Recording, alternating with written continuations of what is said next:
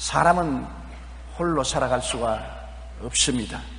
항상 이웃이 원튼 원치 않든 곁에 있습니다. 좋은 이웃이 있으면 복이 되고 나쁜 이웃이 있으면 굉장히 불행하게 되는 것입니다.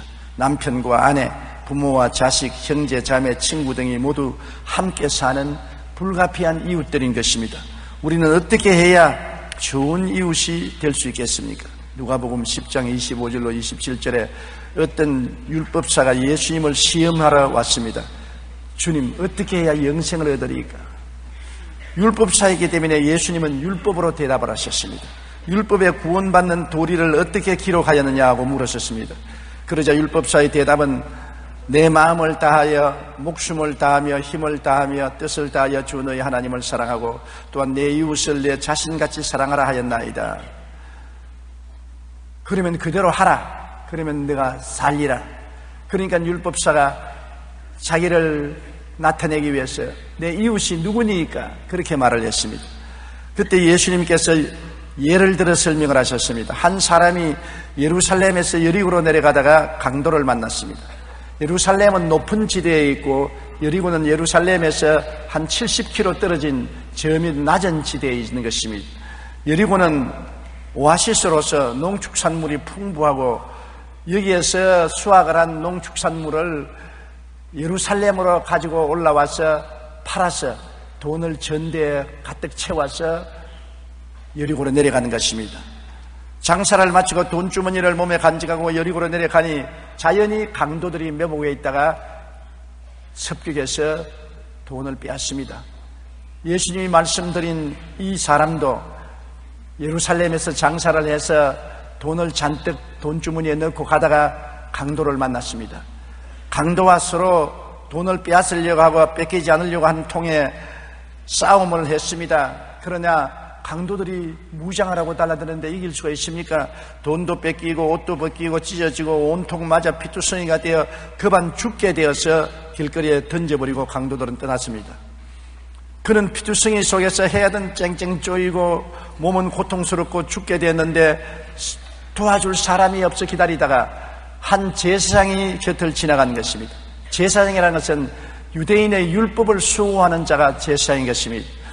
제사장이여 제사장이여 나를 도와주소서 제사장이 와서 물끄러미 바라보고 그대로 지나가고 말았습니다. 손가락 하나 까딱하지 않고 도와주지 않았었습니다. 왜냐? 율법의 역할은 꾸짖고 정지하고 심판하는 것이지 도와주는 것이 아닙니다. 율법주의자는 이웃을 비난하고 벗기고 핥히고 먹질하고 짓밟는 것 뿐이지 율법주의자가 이웃을 도우지는 않습니다. 율법은 돕기 위해서 있는 것이 아니라 심판하기 위해서 있는 것입니다. 율법주의자 제사장이 지나가고 난 다음에 너무나 낙심한 이 강도 만난 사람은 절망적으로 허덕이고 있는데 레위 사람이 총총 걸음을 가지고 뒤를 따라옵니다. 레위인은 의식을 행하는 자인 것입니다. 의식은 율법을 행하는 제사장을 도와서 여러 가지 형식과 예식을 집행합니다. 성막을 치고 성전뜰에 여러 가지 기구를 정비하고 정돈하는 의식을 행하는 사람인 것입니다. 의식을 행하는 자는 종교의 형식을 행할 뿐 내용이 없습니다.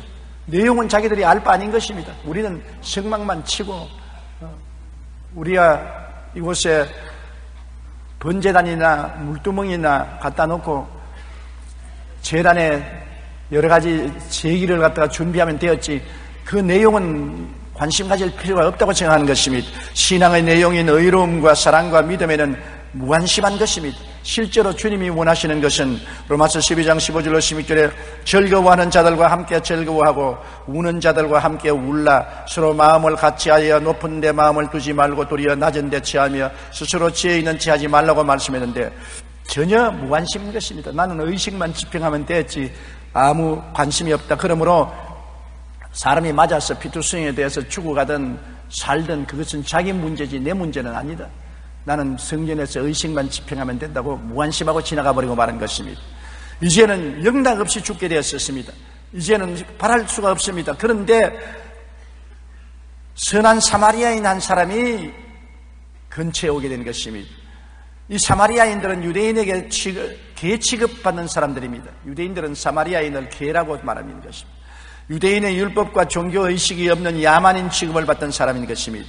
그럼에도 불구하고 이 사마리아 사람은 율법이 없고 의식이 없더라도 그 마음속에 사랑과 자비심을 가지고 있었습니다. 이 죽어가는 사람을 보고 율법주의자 같이 비평하지 아니하고 의식주의자 같이 무관심하지 않고 불쌍히 되겠습니다. 그래서 말에서 내려서 이 사람을 바라보고 무엇으로 치료합니까? 자기에게 특별한 약이 없는 것입니다. 여행하는 사람이 그 당시에는 기름과 포도주를 가지고 다녔습니다. 기름은 햇빛이 쨍쨍 쪼이고 살갗이 타니까 살갗을 유하게 하기 위해서 기름을 바르고 포도주는 마시기도 하고 상처 입은 데 부어서 병균을 살균하기도 했는 것입니다. 그가 가지고 있는 것은 그것밖에 없습니다. 그러므로 그는 자기가 갖고 있는 것으로 치료를 했습니다. 기름으로 상처를 부드럽게 하고 포도주로 소독하고 그리고 긴 옷을 입고 있기 때문에 두루마기를 찢었습니다. 붕대로 만들어서 아픈 데 감아주고 자기 짐승에 태워 주막집에 데리고 가서 그를 돌보아 주었던 것입니다. 예수님께서 말씀하기를 이 세 사람 중에 누가 참 이웃이냐? 이 율법사가 하는 말이 자비를 베푼 사람이니이다. 너도 가서 그렇게 하라. 그렇게 예수님이 말씀한 것입니다. 이 말씀 속에 우리에게 주는 교훈이 굉장히 많습니다. 왜냐하면 우리 모두는 강도 만난 사람들인 것입니다. 우리의 조상 아담과 하와가 에덴 동산에서 강도를 만났습니다. 원수 마귀를 만나서 마귀가 그들의 영혼을 죽이고 삶을 도적질하고 미래를 훔쳐가는 것입니다. 아담의 자손들은 모두 마귀에게 강도 만나 영혼도 삶의 복도 건강도 다 도적 만나고 마는 것입니다. 요한복음 10장 10절에 말씀대로 도둑이 오는 것은 도둑질하고 죽이고 멸망시키려는 것뿐이라고 말한 것입니다. 우리에게 의로움을 도둑질해 가고 거룩함을 도둑질해 가고 건강도 도둑질해 가고 물질적인 풍요와 축복도 도둑질해 가고 영원한 생명도 도둑질해 가고 말한 것입니다. 우리는 황도 만난 사람으로서 귀한 것을 다 빼앗기고 옷도 벗김을 받고 상처투성이가 된 것입니다. 피투성이가 된 것이 오늘날 인생들의 현실적인 삶인 것입니다.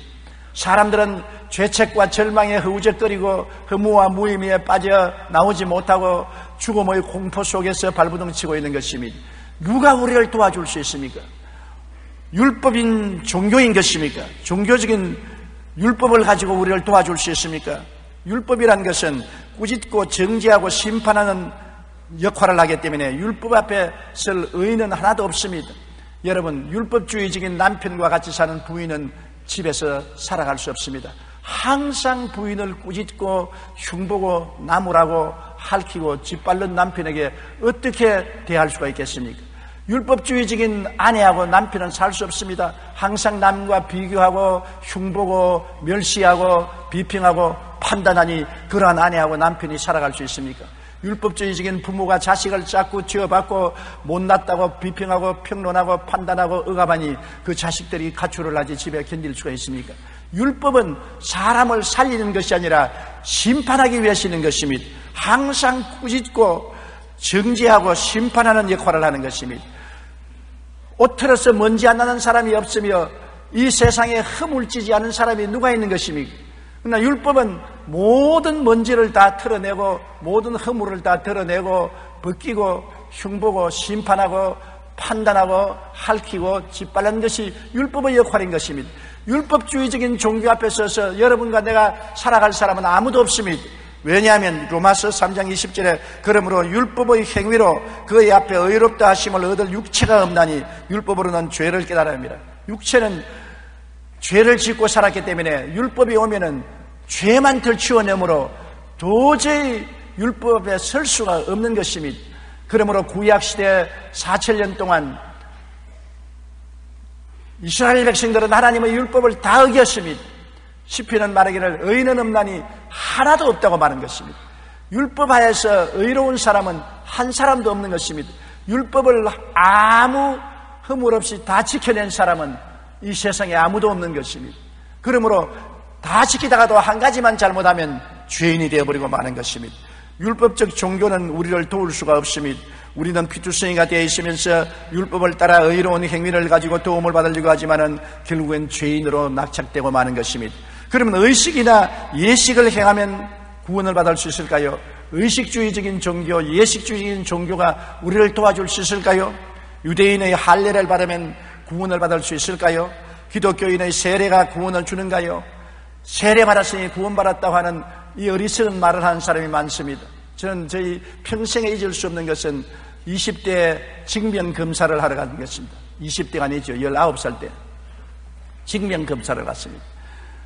그날 제가 부흥회 하는데 미국 사람 통역을 했기 때문에 오전에 징병 검사를 받아야 될 것을 오후에 말미를 받아서 징병 검사를 갔는데 나를 돌보던 의사 선생님이 군의관 대위였는데 굉장히 화를 내면서 네가 무슨 특권이 있기에 오전에 받아야 될 사람이 오후에 왔느냐고. 그래 죄송하다고 나는 오늘 선교사의 통역을 맡았기 때문에 오전에 부흥회가 있어서 통역한다고 그랬습니다. 호통을 치면서 통역 웃기는 소리 안 해. 니만 예수 믿느냐? 나는 세례받은 교인이란 말이야! 그러지만 포켓도에서 담배를 끄집면서 불을 탁탁 켜서 쫙 빨아당기면서 나는 미션 숙부를 나온 사람이야. 나는 세례받았어 자네 세례 받았냐? 예수도 세례 받았습니다 예수 믿는다는 것이 이런 자기 일을 위해서 국가의 법을 어기는 법이 어디 있느냐? 내가 미리 말미를 얻었는데요. 그러니까 나를 호통을 치고 야단합니다. 그래서 내 속으로 예수 믿고 세례받은 사람이 왜 저렇게 무섭냐? 이해와 동정이 없이 온전히 율법적이고 정죄고 판단만 하느냐? 내 마음속에 잊을 수가 없었습니다. 세례가 구원을 준다면 그 사람은 구원받은 사람이겠는데 지금 생각해봐도 그 사람은 구원받았다고 생각 안 하는 것입니다. 그렇게 얼굴을 붉히고 화를 내고 성을 내면서 또 세례받았다고 말을 하면서 담배를 내서 푹 연기를 품으면서 자기는 세례받은 사람이라니 그 믿음과 행위가 따르지 않은 불일치한 사람인 것입니다. 여러분, 의식적인 종교가 우리를 구원한다고 생각하면 큰 오해인 것입니다. 아, 나는 세례받았어. 나는 교회 등록했어. 그러므로 나는 구원받았어. 웃기는 소리 하는 것입니다.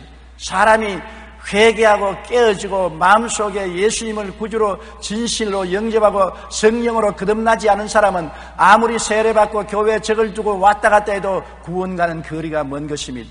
주여 주여 하는 사람마다 천당에 올라가는 것이 아닙니다. 하나님 뜻대로 예수님을 믿고 회개하고 성령으로 거듭나야 천당 갈 수가 있는 것입니다. 사도행전 4장 12절에 다른 이로서는 구원을 받을 수가 없나니 천하 사람 중에 구원받을 만한 다른 이름을 우리에게 주신 일이 없느니라. 예수 그리스도의 이름으로 구원을 받는 것이지 세례받음으로 구원받는 것은 아닙니다. 구원받았기 때문에 세례도 받고 교적도 내고 하는 것이지 구원도 받지 않으면서 세례받고 교정된다고 천당 간다고 생각하면 큰 오해인 것입니다. 그러므로 우리는 율법 앞에서 죄인이요 의식이나 예식 앞에서 무관심을 당하는 사람들인 것입니다. 우리를 구원할 자 누군가 누가 선한 사마리아인입니까? 성경에 보면 예수 그리스도께서 바로 선한 사마리아인 것입니다. 왜냐하면 하나님의 아들이 육신을 쓰고 우리 가까이 왔습니다. 피투성이 된 우리들을 지나가는 것이 아니라 우리를 찾아와서 우리를 불쌍히 보신 것입니다. 주님이 우리를 보실 때 율법적인 눈으로 판단하고 비평하고 보시는 것이 아니라 불쌍히 느끼시는 것입니다. 예수님이 우리를 보실 때 무관심하게 보지 않습니다. 형식이나 의식적인 종교만 집행하는 레위인 같이 무관심하게 보지 않습니다. 예수님은 마음으로 불쌍히 느끼고 동정을 하는 것입니다. 예수님이 우리를 불쌍히 느끼지 않으셨으면 왜 우리의 죄와 불의, 추악과 저주를 대신 짊어지고 십자가에 올라가서 몸을 찢고 피를 흘리기까지 자신을 내어 주신 것입니까? 예수님이 여러분과 나 때문에 고난당하시고 여러분과 나 때문에 십자가에 못 박여 죽은 것은 우리를 불쌍히 여기고 우리를 사랑하시기 때문인 것입니다. 사랑이 동기가 아니면 그런 희생을 할 이유가 없는 것입니다.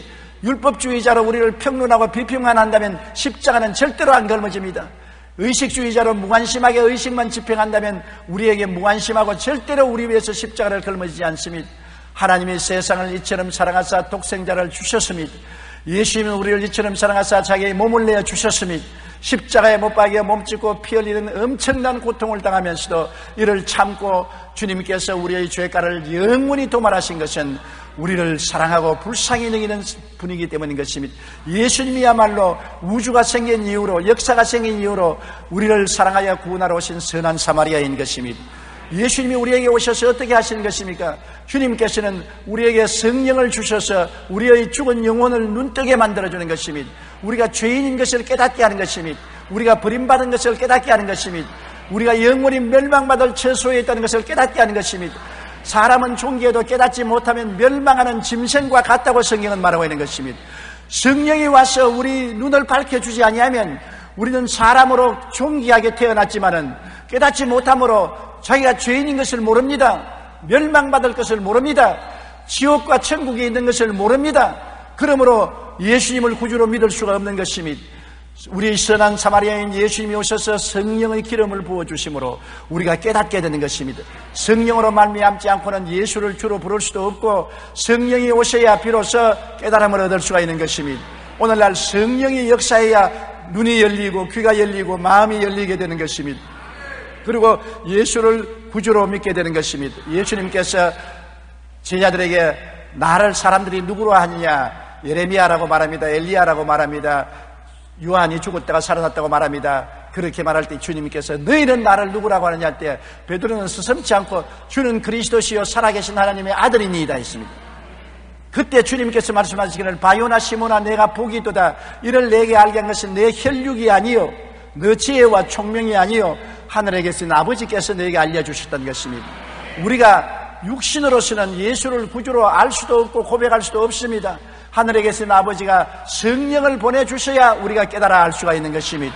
그러므로 우리의 선한 사마리아인 예수님은 우리를 극률히 보시고 우리 곁에 찾아오셔서 성령의 기름을 부어서 영혼을 깨우쳐 주시고 그러고 비로소 예수님이 구주 되시고 나를 위하여 십자가에 몸짓고 피 흘려 죄를 대속하시고 모든 불의와 추악을 씻으시고 질병을 대속하시고 저주를 짊어지시고 사망과 음부를 대신 멸하여 주신 영원한 구주여 예수님이야말로 우리에게 와서 태간 사람을 만들어 주시고 왕 같은 제상으로 만들어 주시고 거룩한 나라로 만들어 주시고 그 소유한 백성으로 만들어 주시는 자라는 것을 깨달아 알게 하여 주시는 것입니다. 깨닫지 못하면 믿을 수가 없는 것입니다. 깨달아 알아야 되는 것입니다. 모르는데 어떻게 믿을 수가 있는 것입니까? 깨달아 알아야만 우리가 예수님을 구주로 고백할 수가 있는 것입니다. 성령이 오셔서 우리를 깨닫게 하시면 우리는 예수 그리스도가 구주인 것을 알고 그 십자가의 고통이 우리를 위해서 대속의 고통을 당한 줄 알고 우리는 죄에서 자유를 얻고 마귀와 죄 속에서 해방을 얻고 질병과 저주에서 자유와 해방을 얻고 사망과 음부를 이기고 영생 복락을 얻은 것을 알게 되는 것입니다. 주님께서는 오셔서 성령으로 우리를 깨우치고 그 보혈로 씻어주시는 것입니다. 예수님께서 선한 사마리아인처럼 포도주를 부었다는데 포도주는 예수님의 피를 상징하는 것입니다. 기름으로 유하게 하시고 포도주를 부어 해독한 사마리아인처럼 예수님은 성령으로 우리 마음을 유하게 해서 깨닫게 하시고 보혈로 우리를 씻어서 정결하여 사망에서 생명으로 옮겨주시고 마귀의 권세에서 건져내어 하나님의 사랑의 아들 나라로 옮겨주신 것입니다. 그러고 난 다음에 예수님은 사랑의 붕대로서 우리를 감아주시는 것입니다. 사마리아인이 자기 옷을 찢어 붕대를 만들어서 상처에 감아주셨시 예수님은 그 사랑으로 우리를 끼어안고 이해하고 동정하고 인내하면서 우리의 붕대로 감아주시고 그리고 은혜의 짐승의 채와 주막집인 교회로 데리고 가서 천당 주막집에서 돌보아 주시는 것입니다. 그러므로 예수님 이외에 우리를 이 강도 만난 처지에서 건져줄 자는 천하에 없습니다. 율법 종교가 우리를 구원할 수 없습니다. 의식과 형식 종교가 우리를 구원할 수 없습니다. 오직 현대판 사마리아인인 예수님께서 율법이 아니요 의식과 형식이 아닌 자비와 사랑을 가지고 오셔서 우리를 구원하여 주시는 것입니다. 그렇기 때문에 예수님이 오늘 날 손을 활짝 내밀고 수고하고 무거운 짐진 자들은 다 내게로 오라.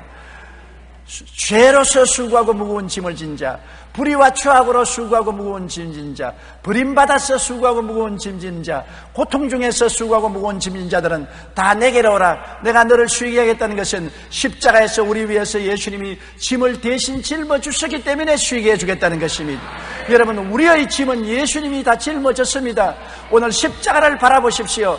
나의 죄가 일생 지을 죄가 다 십자가에 청산된 것입니다. 나를 잡고 있는 마귀와 세상이 십자가의 보혈로 말미암아 다 청산되어 버리고 십자가를 통하여 주님이 해방시켜 준 것입니다.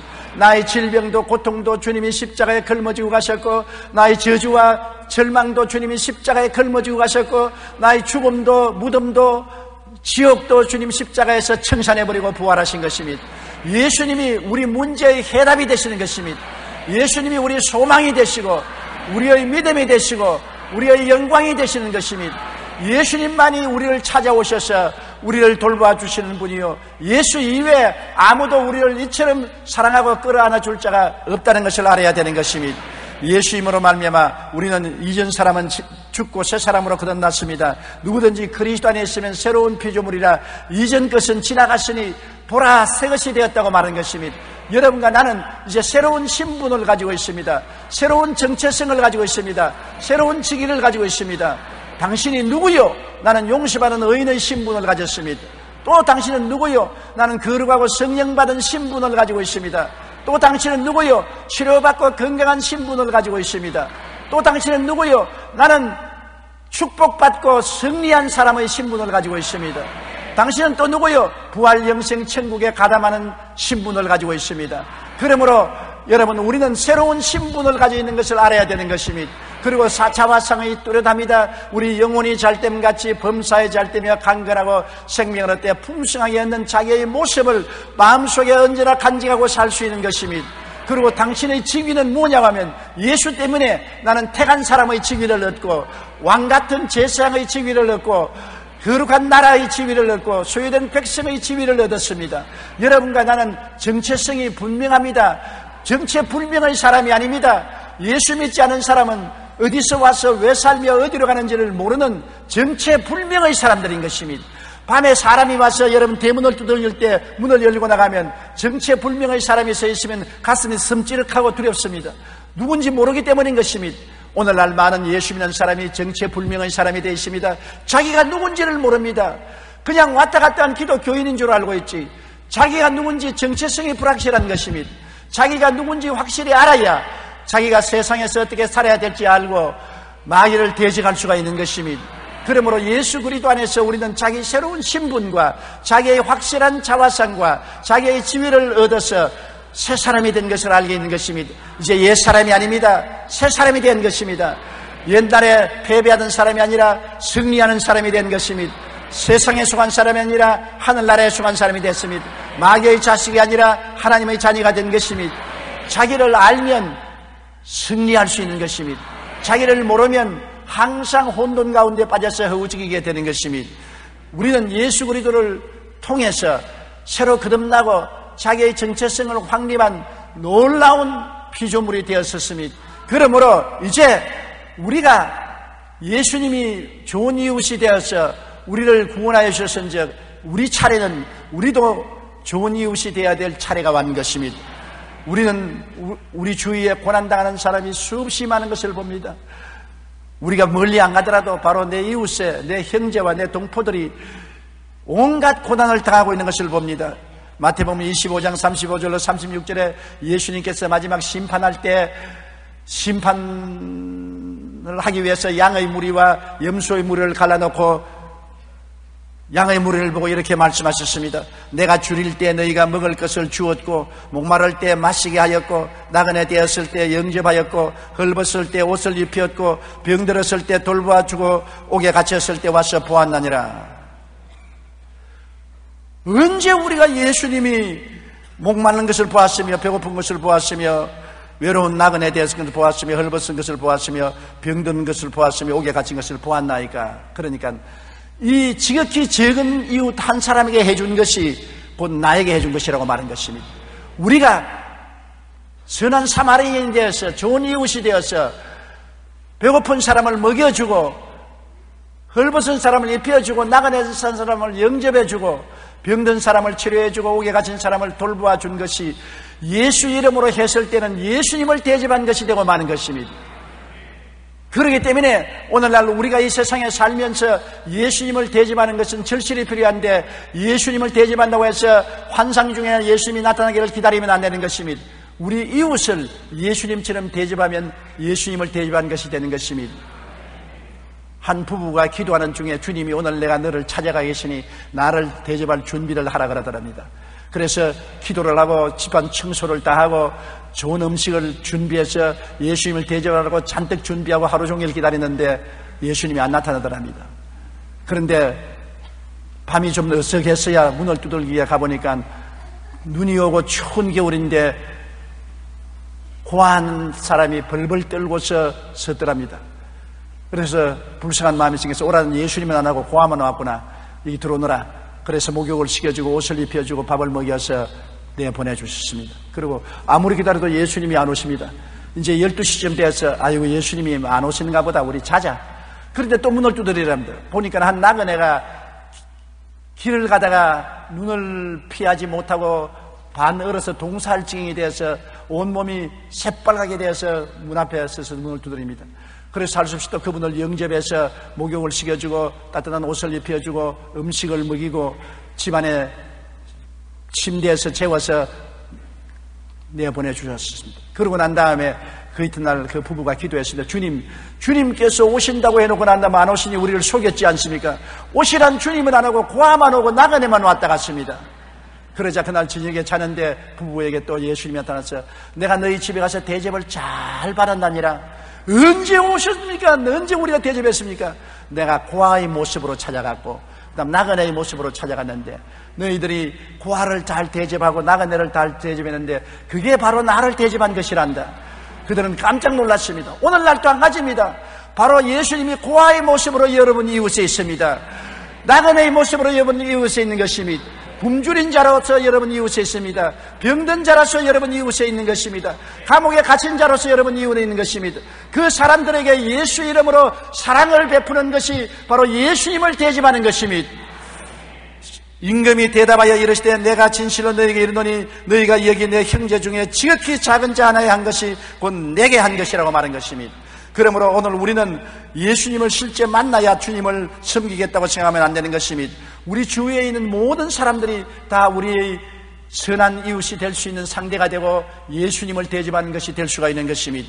우리가 율법주의자가 되어 비난하지 말고 의식주의가 되어 무관심하지 말아야 되는 것입니다. 율법주의자는 언제나 욕만 합니다. 왜 거지가 되었냐? 게을러서 그랬지. 왜 직장이 없느냐? 3D 직장을 안 가지려고 그랬지. 왜못 낳느냐? 잘난 세상에 열심만 했으면 잘날 수 있는데 도움은 안 베푸고 자꾸 욕만 하는 것입니다. 비난하고 평론하고 비평하는 것이 사람을 도와줄 수 있느냐? 더 절망하게 하고 더 낙심하게 할 뿐 도와줄 수 없는 것입니다. 그렇지 않으면 아니 나는 교회 나가서 세례도 받고 성찬도 떼고 11조로 내고 열심히 교회 다니니 그로서 되었지 남이야 잘 살든 못 살든 고통을 당하든 관심할 것이 뭐냐? 의식주의 신자들은 무관심합니다. 마음의 의로움과 사랑과 진실함은 다 포기해버리고 내용 없는 신앙으로 교회에 왔다 갔다 하면 나만 구원받고 우리 가족만 구원받았으면 됐지. 세계야 어떻게 되든 망하든 흥하든 내가 무슨 상관이냐? 무관심주의. 이것도 여러분 하나님이 원하지 않은 것입니다 야고보서 2장 14절로 11절에 내 형제들아 만일 사람의 믿음이 있노라 하고 행함이 없으면 무슨 유익이 있으리요? 그 믿음이 능히 자기를 구원하겠느냐? 만일 형제나 자매가 헐벗고 일용할 양식이 없는데 너희 중에 누구든지 그에게 이르되 평안히 가라 덥게 하라 배부르게 하라며 그 몸에 쓸 것을 주지 아니면 무슨 유익이 있으리요? 이와 같이 행함이 없는 믿음은 그 자체가 죽은 것이라고 말한 것입니다 우리가 믿음으로 구원받았지만 이 구원은 선한 사마리아인이 되기 위해서 구원받은 것입니다. 우리 구원받은 목적은 이웃을 돕기 위해서 구원받은 것입니다. 이웃에게 전도하고 가르치고 귀신 쫓아내고 병 고치고 먹을 것을 나누어 먹고 입을 것을 나누어 입고 평안하게 이웃을 도와주기 위해서 구원받은 것입니다.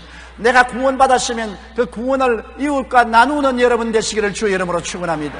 나만 구원받았으면 되고 나는 구원받았으니 이웃을 비난하고 공격하고 무관심하면 된다는 것은 절대로 아닌 것입니다. 구원이란 예수 그리스도를 닮는 것입니다. 예수님은 하늘 보좌 버리고 이 땅에 오셔서 몸을 찢어 주고 피를 흘려 마시게 해 주었습니다. 그와 같은 은혜를 베풀었는데 우리는 왜 안 합니까? 아니 나는 아무것도 없습니다. 사마리아인은 여러분 자기가 가진 것으로 해준 것입니다. 사마리아인이 가진 것은 기름 한 통, 포도주, 입고 있는 옷밖에 없었습니다. 부자도 아닙니다. 백만장자도 아닙니다. 그럼에도 불구하고 자기가 있는 것 가지고서 있는 기름, 있는 포도주, 있는 옷을 찌어서 붕대를 만들어서 도와준 것입니다. 우리가 큰 부자가 되어야 선한 사마리아인이 되는 것이 아닙니다. 백만 장자가 되지 않더라도 내가 있는 것으로 할 수 있는 것입니다. 조그마한 빵 조각이 있으면 그 빵 조각을 나누어 먹을 수 있는 것입니다.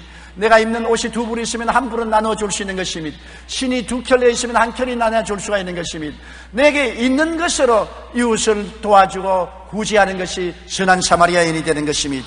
누가복음 6장 38절에 주라 그리하면 너희에게 줄 것이니 곧 후에 되어 누르고 흔들어 넘치도록 하여 너희에게 안겨 주리라. 하나님이 우리에게 복을 주시는 이유는 이웃과 나눌 수 있게 되기 위해서 복을 주는 것입니다. 나누는 사람에게 복을 주지 나누지 않은 사람에게 복을 주지 않습니다. 여러분 예수님이 베스다 광야에 갔을 때 5천 명의 사람 남녀 합쳐 수만 명의 사람이 굶주렸을 때 그들에게 먹을 것을 주기 위해서 어린 소년이 보리떡 다섯 개와 물고기 두 마리를 나누었습니다. 어린 소년이 자기도 배가 고파 못 견디겠는데 자기가 가진 것으로 나눈 것입니다. 없는 것을 돈 주고 사온 것이 아닙니다. 보리떡 다섯 개, 가난하고 가난한 집안의 아들이 보리떡 다섯 개와 조그마한 물고기 두 마리 자기 가진 것을 가지고 나누니까 나중에 자기에게 얼마 돌아왔습니까? 5천 명과 부녀자 김한 명이 다 먹고 열두 방울이 남은 것이 그 소년에게 돌아오게 된 것입니다. 나누어 줄 때 돌아오는 것입니다. 나누어 주지 않은데 왜 하나님이 도와주고 축복할 이유가 어디 것입니까? 수전노 욕심쟁이에게 왜 하나님이 축복을 주시겠습니까? 하나님은 주시는 자를 축복해 주신 것입니다. 주라! 그리해야 돌려줄 것이요. 곧 후이되어 눌러 흔들어 넘치게 삼게 주라고 한 것입니다. 거짓말이 아닙니다. 참말입니다. 심어야 거두지 않습니까? 심지 않고 거두는 사람 보았습니까? 아무리 문제 녹답이라도 심어야 추수할 수 있지 않습니까? 우리가 있는 것으로 심어야 되는 것입니다. 없는 것으로 심으란 말은 안 합니다. 내게 있는 것으로 하나님의 성경의 인도를 따라서 심을 때 우리가 거둘 수가 있는 축복을 주는 것입니다. 그러므로 하나님께서는 주, 주는 자, 심는 자를 절대로 빈손 들고 돌아가게 하지 않는 것입니다. 사람들은 내게 말합니다. 왜 평양에 병원을 지으려고 하느냐? 대한민국에도 수많은 사람들이 병 앓고 있는데 왜 평양에 지으려고 하느냐? 대한민국은 하나님의 축복을 받아서 하나님의 사랑 속에 얼마나 인류 시설을 가진 병원이 많습니까? 훌륭한 병원들이 많습니다. 그러나 북한은 어떻습니까? 우리 이웃에 있으면서 강도 만난 이웃인 것입니다. 헐벗고 굶주리고 병들고 고통스럽습니다. 정말 주님께서 말한 것처럼 굶주리고 헐벗고 외롭고 병들고 고통스러운 이웃이 있는 것입니다. 아, 우리는 북한에 있고 우리는 남한에 있으니 무관심하고 있을 필요가 없다. 그렇지 않으면 북한을 향해서 비난하고 공격하고만 있을 것입니까? 체제가 잘못되어서 그렇다. 정치를 잘못해서 그렇다. 게을러서 그렇다. 그런 것이 무슨 이익을 가져올 수 있는 것입니까? 비평과 평론이 조그마한 도움을 가져올 수 있습니까? 아, 우리 관심 가질 게 뭐냐? 우리만 잘 먹고 잘 입고 잘 살면 되지. 그것은 레위인과 같이 형식주의자요, 의식주의자요, 내용이 없는 신앙생활인 것입니다. 이웃이 고통당하고 있는 이상 우리 편안할 수 없습니다. 하나님이 왜 세상에 사람의 몸으로 오셨습니까? 세상 사람들이 죄 짓고 병들고 고통당하고 있는 이상 주님이 보좌에 앉아서 편안하지 않기 때문에 보좌를 버리고 육신을 쓰고 오신 것입니다. 사랑은 고통을 같이 감내하는 것이 사랑인 것입니다. 사랑하지 않으면 이웃에 무관심할 수 있는 것입니다. 여러분 부모가 자식이 많더라도 잘 사는 자식은 걱정이 안 되지만 못 사는 자식에게는 항상 걱정하고 고통을 하는 것입니다. 왜? 자식을 사랑하기 때문에 고통을 함께 나누어지는 것입니다. 우리가 예수 그리스도의 사랑을 마음에 가지면 우리가 북한 동포들에 대한 관심을 가져야 되고 그들의 고통을 함께 걸머질 수 있는 마음의 자세를 가져야 되는 것입니다. 우리는 북한에 심장병원을 세우려고 합니다. 수많은 승인과 어린아이들이 심장병으로 죽어가나 도움을 받지 못하고 있는 것입니다. 우리 교회에서 한 150억 예산을 세우고 국가에서 한 50억 도와주시고 한 200억을 가지고서 평양에 병원을 세우는데 여러분 150만 원이란 50억이라는 것이 우리가 결심만 하면 많은 돈이 아닙니다. 우리 교회 75만 중에 5만 명만 성도가 2년 동안 각각 30만 원만 작정하면 1년에 15만 원, 한 달에 1만 3천 원, 한 주일에 3,300만 원만 들으면 150만 원 2년 동안에 실천되는 것입니다. 우리 병원은 2년 내에 완성하는데 2년 동안에 우리 교회 5만 명만 2년 동안에 30만 원을 작정해서 1년에 15만 명, 15만 원 내고 한 달에 1만 3천 원, 한 주일에 3,300원 드리면 선한 사마리아인이 되는 것입니다. 예수님의 사랑에 응답할 수 있는 것입니다. 안 믿는 사람이면 담배 한 갑 정도밖에 안 되는 것입니다. 여러분, 이와 같이 해서 우리가 사랑을 베풀 때 하나님이 우리나라에 복을 주시고 우리 한국 교회에 복을 주시고 우리의 동포들에게 은혜를 베풀어 주는 것입니다. 우리는 힘을 합쳐서 사랑을 실천하는 좋은 이웃이 되어야만 되는 것입니다. 우리만 잘 먹고 잘 입고 잘 살면 된다고 생각하면 큰 오해인 것입니다. 우리는 지구촌에서 운명 공동체가 되어 사는 것입니다. 우리는 한 배를 타고 있는 것입니다. 불가불 이 땅에 사는 사람은 태어나서 늙어서 다 죽게 되는 것입니다. 우리는 하나님의 심판대 앞에 서게 되는 것입니다. 약물이가 될지 염소일 때가 될지 우리는 우리 스스로의 행위로 결정해야 되는 것입니다. 예수 사랑 나누면 약물이가 되고 이기주의자가 되면 염소의 무리가 될 것인 것입니다. 예수님은 사랑인 것입니다. 하나님은 사랑입니다. 사랑을 우리가 마음속에 받아들이고 난 다음에 우리 속에 사랑을 갖지 않을 수가 없는 것입니다. 사랑이 들어왔는데 왜 사랑을 나타내지 않을 수가 있는 것입니까? 진실로 거듭나서 예수님을 구주로 모셨으면 사랑의 사람들이 될 수밖에 없는 것입니다. 사랑은 이웃의 짐을 나누어지는 것이요. 선한 사마리아인이 될 수밖에 없는 것입니다. 그러므로 여러분, 우리는 선한 사마리아인이 되도록 노력하고 언제나 이웃을 위해서 선한 일에 심어야 되는 것입니다. 고린도후서 9장 6절로 9절에 이것이 곧 적게 심는 자는 적게 거두고 많이 심는 자는 많이 거둔다는 말이로다. 각각 그 마음에 정한 대로 할 것이요. 인색함으로나 억지로 하지 말지니 하나님은 절견내는 자를 사랑하시느니라. 하나님이 능히 모든 은혜를 너희에게 넘치게 하시나니 이런 너희로 모든 일에 항상 모든 것이 능력하여 모든 착한 일을 넘치게 하리 하심이라. 기록된 바 그가 흩어 가난한 자들에게 주었은즉 그 의가 영원토록 있느니라 함이라. 흩어 가난한 사람에게 줌으로 말미암아 의 롭게 되고 영광스럽게 되고 또 하나님이 30배, 60배, 100배로 갚아주는 것이니 일거양득이요 얼마나 큰 축복인 것입니까? 여러분 신앙인의 가장 큰 덕목이 뭔지 압니까? 믿음, 소망, 사랑 이 세 가지 중에 사랑이 제일이라고 말한 것입니다.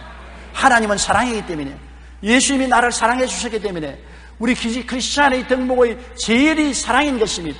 내 이웃을 내 몸처럼 사랑하라고 말한 것입니다. 남편들이여 아내를 내 몸처럼 사랑하라. 아내들이여 남편을 내 몸처럼 사랑하라. 부모여 자식을 자식이 부모를 성도여 이웃을 내 몸처럼 사랑하라. 자연을 내 몸처럼 사랑하라고 말한 것입니다.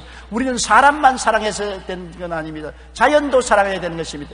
예수님이 세상을 사랑했습니다. 세상은 사람만 세상이 아닙니다. 세상에는 동물도 있고 식물도 있는 것입니다. 우리는 사람을 사랑하고 동물들을 사랑하고 식물들을 사랑하고 자연을 사랑하는 우리들이 되어야 되는 것입니다. 하나님을 사랑하고 이웃을 내 몸처럼 사랑하는 곳에 구원의 아름다운 열매가 맺어지는 것입니다. 요사이 기독교회에 대해서 비평이 많습니다.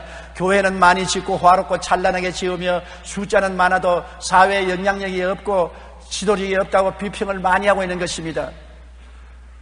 얼마 전에 어느 대학교에서 기독교 비평하는 평론회에 프랑카드에 기독교라고 안 하고 개독교라고 했는 것입니다. 그런 모욕적인 언사가 되어 있는 것입니까? 기독교가 아니고 개독교다. 왜 우리가 그런 모욕을 드려야 되는 것입니까? 우리가 사랑 실천을 하지 않기 때문에 그렇게 되는 것입니다. 우리가 이웃을 내 몸처럼 사랑하라는 주님의 말씀대로 우리가 있는 것으로 적은 것으로부터 시작해서 사랑을 실천해서 가마 감동시켰더라면 이런 비평을 받지 아니했을 것입니다. 나는 없어서 못한다. 여러분, 사마리아인은 없는 사람입니다. 가난한 사람입니다. 현재 우리에게 비교해서는 거지와 한 가지인 것입니다. 가진 것이라고는 기름 한 통, 포도주 한 통, 입은 옷밖에 없었습니다. 그래도 그는 선을 베풀 수가 있었던 것입니다. 우리는 그게 비교하면 얼마나 많은 선을 베풀 수가 있지 않습니까? 우리가 먹다가 남은 음식 쓰레기만 하더라도 엄청난 양을 버리지 않습니까? 우리 이웃에 음식 쓰레기조차 먹지 못하는 사람이 있습니다. 겨울이 되어도 따뜻한 옷한번 입지 못하고 동동 발을 구르면서 뜨는 사람들이 있습니다. 병들어도 치료받지 못하고 그대로 죽는 사람들이 있습니다. 우리가 고개를 돌려버리고 내 문제가 아니니 나는 모르겠다고 무관심한 의식주의자가 되겠습니까? 그렇지 않으면 손가락질하고 비난하는 율법주의자가 되겠습니까? 문제는 율법주의로 비난할 것도 아니고 무관심한 의식주의가 될 것도 아니고 사람을 살리는 데 있는 것입니다. 사마리아인은 너는 유대인이니까 난 돌봐주겠다고 말하지 않았었습니다.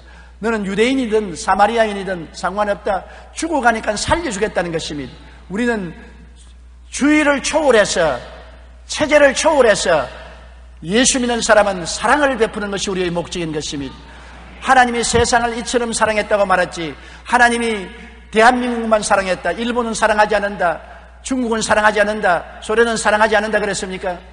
이 세상에 죄를 짓고 불의하고 추악하고 버림을 받아야 마땅한 모든 인생들을 주님은 사랑하사 우리를 대신하여 십자가에 못 박여 죽은 것입니다. 누구든지라고 말한 것입니다. 죄를 지은 사람이나 좋은 사람이나 의롭다고 하는 사람이나 나쁜 사람이나 할 것 없이 누구든지 예수 믿어야 구원받고 예수 믿으면 구원받는 것입니다. 예수님을 사랑을 전함으로 말미암아 그리스도의 사랑이 눈을 뜨게 하고 귀를 열리게 하고 마음문을 열게 해서 왜 이 사랑을 우리에게 베풀어 주느냐 묻게 될 것이요. 그것은 예수를 믿기 때문에 그렇게 된다고 전도가 되지 아니할 수 없는 것입니다. 사랑은 모든 닫힌 문을 열고 모든 완악한 마음을 깨뜨리고 모든 어두움에 밝은 빛을 비추는 하나님의 능력이 되시는 것입니다. 하나님이 여러분 다른 수단을 사용해서 인류를 구원시키려고 했더라면 얼마든지 사용할 수 있습니다. 율법으로서 사람을 책망하고 꾸짖고 때릴 수도 있는 것입니다. 하나님은 장엄한 건물을 지어서 우리에게 줄 수도 있는 것입니다. 그런데도 불구하고 예수님을 사람으로 보내셔서 십자가에 몸을 찢고 피를 흘리고 늘어져 있습니다. 저 십자가를 바라보십시오. 2000년 전에 예수님께서 힘없이 못 박여서 늘어져 있습니다. 그가 힘없는 분입니까? 무능한 분입니까? 하늘과 땅을 지은 창조주인 것입니다. 그의 손에 의해서 하늘과 땅이 다 붙잡혀 있는 것입니다. 전능하신 그가 왜 못에 박혀 저렇게 늘어져 있는 것입니까? 그것은 우리 죄를 대신 짊어지고 우리를 구원하기 위해서 사랑을 베풀기 위해서 그렇게 한 것입니다. 사랑 때문에 십자가에 못 박이고 사랑 때문에 고통당하고 사랑 때문에 죽은 것입니다. 사랑을 받는 사람이 고통당하는 것이 아니라 사랑하는 사람이 고통을 걸머지고 대신 괴로움을 당해주는 것입니다. 여러분 요번에 우리 교회에서 행하는 평양 심장병원은 북한을 사랑하는 우리 교회의 정성이 담긴 것입니다. 우리가 입으로 수천 번, 수만 번 사랑한다 해도 그것은 헛소리에 불과할 것입니다. 증명되지 않은 사랑은 사랑이 아닙니다. 하나님이 우리를 사랑한다고 수없이 말해도 그 아들을 주지 아니했으면 우리가 그것을 믿을 수가 없는 것입니다. 북한을 사랑하고 북한 동포들을 주께로 인도하기를 원한다고 우리가 말하는 증거로서 심장병원을 세우고 그를 통해서 그리스도의 사랑의 빛을 지나는 우리 교회가 되고 여러분이 되고 우리 한국교회 성도들이 되기를 주님 이름으로 축원합니다. 우리 고개 숙여 기도드리겠습니다. 전능하시고 거룩하신 아버지 하나님이시여 우리는 늘 예수님을 자랑하고 찬양하지만은 그리스도의 성품인 사랑을 전하지 않기 때문에 오늘날 기독교를 개독교라고 하고 비난하는 공격을 받고 있는 것입니다. 아버지 교회당은 아름답게 짓고 교인 수는 많지만은 사랑의 손길은 점점 식어져 가고 있으니 한국 교회의 등불이 꺼져가고 있지 않습니까? 내 아버지 하나님이시여 우리는 율법주의자가 되고 의식주의자가 되고 말하는 것입니다. 수많은 강도 만난 사람이 주위에 넘어져 있건만은 무관심하고 지나가고 마는 것입니다. 원하오니 우리 아버지여 우리 교회만이라도 선한 사마리아인의 교인이 되게 도와주시옵소서. 우리 성도만이라도 있는 것으로 불황당 만나고 강도 만난 사람을 도와주는 사마리아인이 되게 도와주시옵소서. 하나님이여 우리를 감동하사 우리에게 평양에 심장병원을 세우라고 명령하셨사오니 아버지여 이 명령을 쫓아 사랑을 실천하는 우리가 되고 한 사람도 빠짐없이 여기에 참여하는 우리들이 되게 도와주옵소서. 예수님 이름으로 기도드리옵나이다. 아멘.